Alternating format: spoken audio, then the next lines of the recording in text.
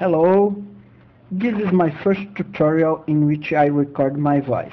In this tutorial I will show you step by step how to model a soccer ball. And uh, this tutorial was inspired by a video training from Luxology TV.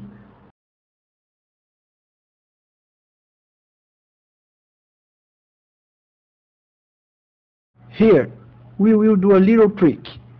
Click plus 4. Note that nothing was selected.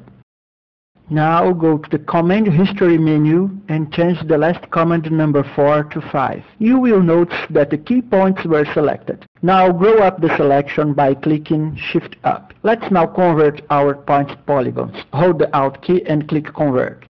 We can now save our selection for later use. And we can also apply a material in the selection.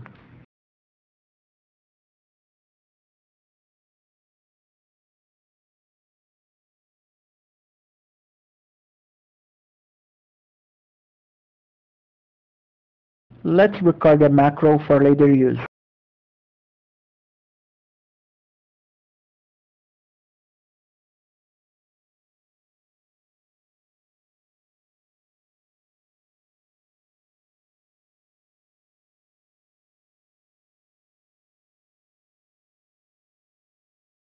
We can simply replay the macro to each operation.